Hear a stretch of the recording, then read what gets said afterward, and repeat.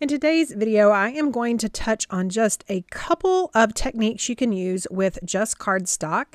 Here's a look at the layout that I'll be making, showing you how to kind of get that thatch look as well as use some of the brand new cardstock borders. Now, this layout and video is part of the Fun Ideas Using Cardstock video collab with the creative design team for this for today's video, I am going to be documenting um, one of the many times our daughter uh, read in the car. These are older photos. I found them, if you remember, a few months ago. I kind of did a challenge where I didn't do any new, new photos. These are some of those that I pulled out, but I didn't actually get to document. So I'm going to use these. And like I said, the theme of this week's collab or this month's collab is cardstock.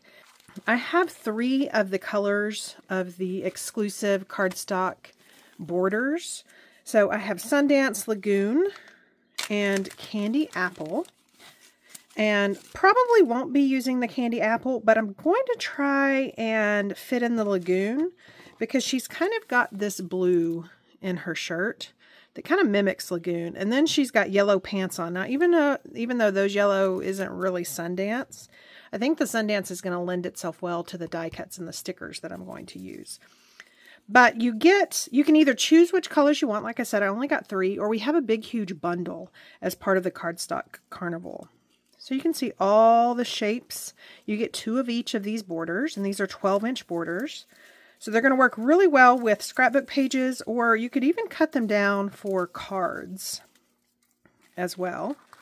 And then I just kind of searched for books and the stamp set I really wanted to use it's not available so I wanted to use something that in, get, in case you guys are inspired you can click on the link below and shop it and so I've got Cozy Up. Now, Cozy Up came out last summer. It's kind of odd for US because it, the, the colors are very autumn. But you can see here, I'm going to concentrate mainly on the books. So it's got several stacks of books. It's got this little um, glass sticker glasses, and then it's got this kind of pennant right there. And then in the scrapbooking kit, they come with exclusive die cuts. And I'm really liking this oversized title right here. I've also pulled out cardstock, again, to kind of lend itself with my photo. Don't, don't, don't pay attention to that. That's the sketchbook I'm going to be using. But those kind of lend itself really well with the photos. You've got the, the taupe, the toffee color of the inside of our car, and then you've got the colors of her shirt. And then I'm going to actually use some books that I cut using the Cozy Up Digital Collection. I always, when, whenever I'm doing Cricut cuts or thin cuts, I always like to cut extra. And in this instance, it's really going to help me out. It's going to go by really fast. So we've got shortbread and then some pages. And I don't know if I'll use the Harbor backing or if I'll find something else for those. But I'm going to clear all of this off and then we can start assembling this layout. Again, I'm using one of the sketches from our 12 by 12 CDT sketchbook. And you'll be able to grab that sketchbook and the links below as well. The base of my layout is going to be White Daisy, and then I'm going to fill in with other colors of cardstock and, of course, those stickers. One thing I love about cardstock is um, if you use our color cardstock, you've got the white core, and y'all have seen me here before sand it and sand, I mean, uh, score it and then sand it, and that white core pops. On this one, I'm going to actually score it and then ink over it. It's going to have kind of a look like stenciling, but it's going to have that texture. So I think my photos are going to go about right here. I've got this on my Scor-Pal. You can use a cutter whatever you want to do. But I'm going to want some score lines up in the top left corner and then over here to frame this right photo. Now, keep in mind that I want the raised edge to show. So I'm actually going to flip my score lines and I'm going to be scoring this top right corner and then frame the left picture. And that way when I flip it over to color to ink over those raised lines of the score marks, I'm hoping, I'm hoping that that's going to work. So again, my photos are going to kind of be right here. So I'm just going to start right here and make a few scores. And I'm going to make them not uniform. Some are going to be longer, some are going to be wider apart, things like that.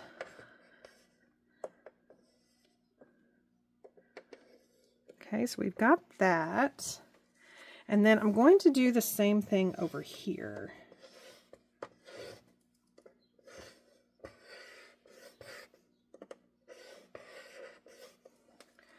And then here's where the fun comes in. I'm actually going to flip this, and we're also going to make some score marks going the opposite direction. Again, no rhyme or reason, starting in random places, some close together, some far apart.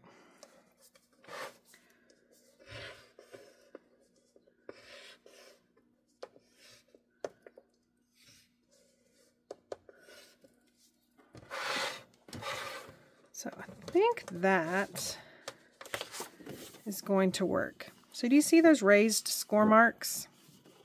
So the color I'm going to concentrate on in this photo is this lagoon.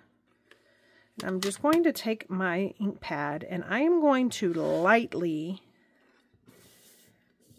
run it across here. Let's start right here where my photos are going to be.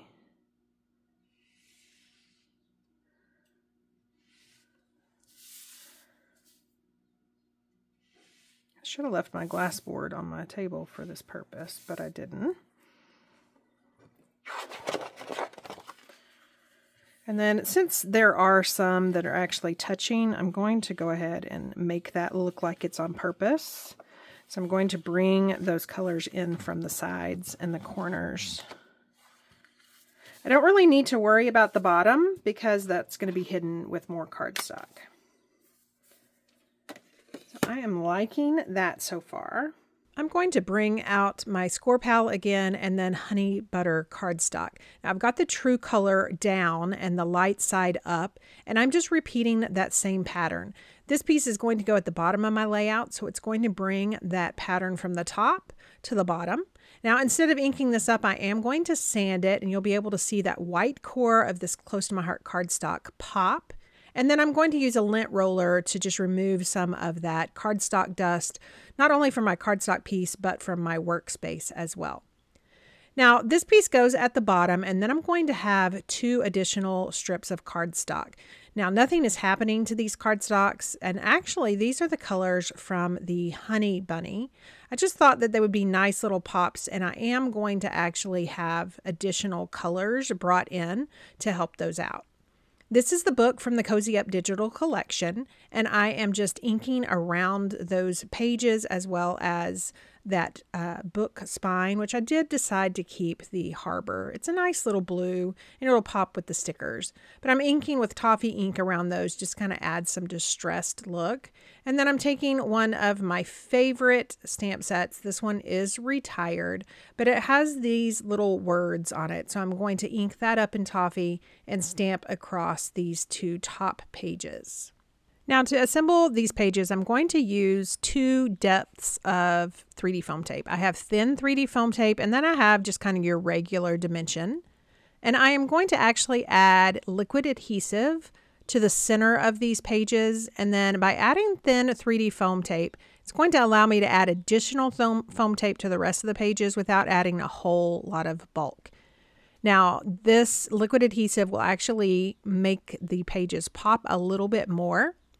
And then for the other pages, I'm actually going to use some thick or you know your regular dimensional foam tape and then some thin. So the thick will be on the outside of the page and then the thinner 3D foam tape will be toward the center of the page. Again, this is going to give the same look that my liquid adhesive gave on the center of those pages.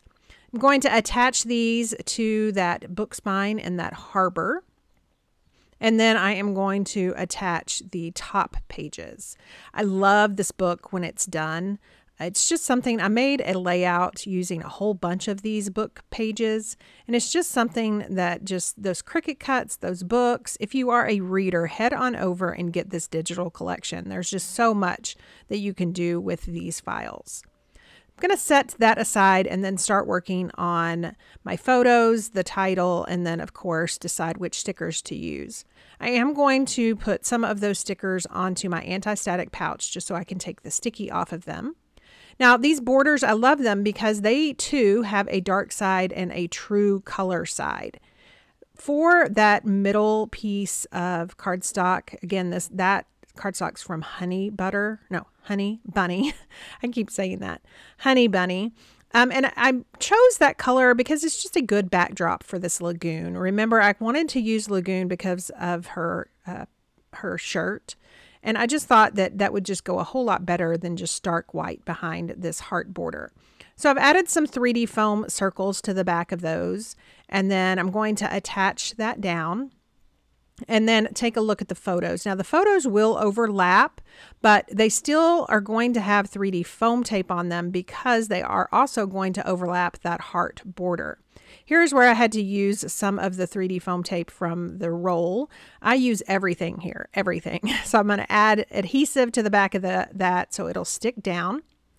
And then as far as my title goes, it's just a little bit too big for my liking. So I'm just going to take my micro tip scissors and trim off between an eighth and a quarter of an inch from the top and the bottom. And that's going to allow it to be a little bit thinner and then fit in behind those photos. Usually on my titles, I do like them to go over, but we have so much of that honey butter at the bottom. I felt like if those were behind the photos, it would look a little bit better. Now this is the Sundance cardstock borders. I'm using the light side so it'll look a little bit more like the honey butter at the bottom. And then I've just cut those and tucking those in behind the left and the right side of those photos. As far as my book, I'm going to pull out those glasses as well as a heart or two. And then I'm going to end up adding some 3D foam behind those glasses.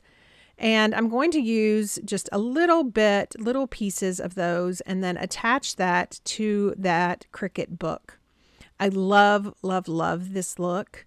Um, in fact, I'm actually wanting, I have enough of the Cricut cuts to make two more books, but I really just want to go over to my Cricut and cut a whole bunch more. So this is also going to have some 3D foam tape behind it. Um, I told you that this layout's going to be very dimensional.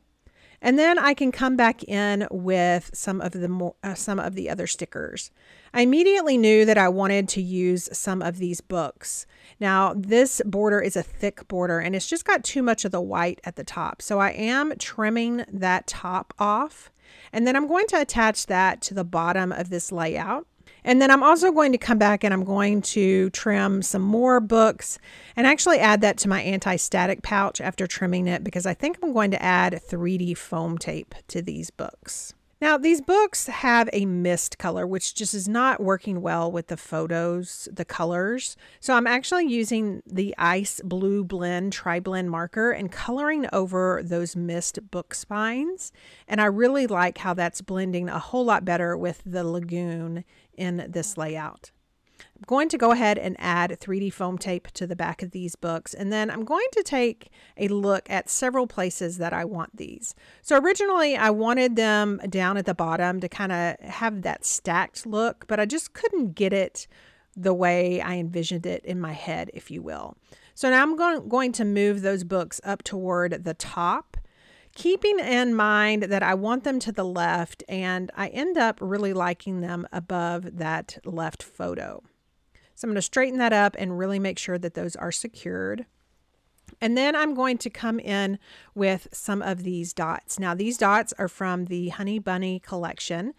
They were in stock um, a few days ago, so hopefully they still are. And then I'm going to add some stamping. Now I did pull out Mocha ink. This is the Operation, St Operation Smile stamp set. And the reason I chose Mocha is because the Just One More Chapter has some Mocha in it, as well as some of those books on that border sticker that I used. So I thought by using the Mocha, it would bring in just another element. So I've stamped happy and then I'm going to come back in with you make me. Now my happy was just a little bit too juicy. So I'm going to pull a scratch piece of white daisy cardstock out and restamp that happy and then fussy cut that out and add some 3D foam tape to the back of that and actually lay it over the already stamped happy. And then that way it doesn't bleed so much. There is just one last thing to do for this layout, and that is to add somewhere for me to journal. I have our journal strip stickers out and I like to trim those. So I've trim, trimmed three of them at six inches and two of them at five and then 10. And then that allows me to kind of stagger the lengths across the bottom portion of this layout and then I can just write on those whenever I am ready to journal. If you are new here, I usually add my journaling after the videos and the still shots, and that way I can add details that I don't really want all over the internet. Here are some close-ups of those layouts and those details using only cardstock. Don't forget that this month is the Cardstock Carnival. I'll leave links down below to that as well as any of the links to the products that I used. And then also, this is part of the Creative Design Team monthly collab. So you can click on that CDT playlist. It'll take you to all of our 2024 videos, as well as hit that subscribe button if you are new here and liked what you saw. Thanks, and y'all have a wonderful rest of your weekend.